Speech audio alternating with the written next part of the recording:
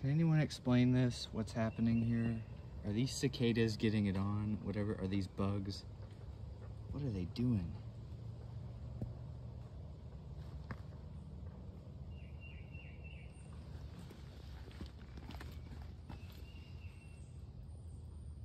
What the hell?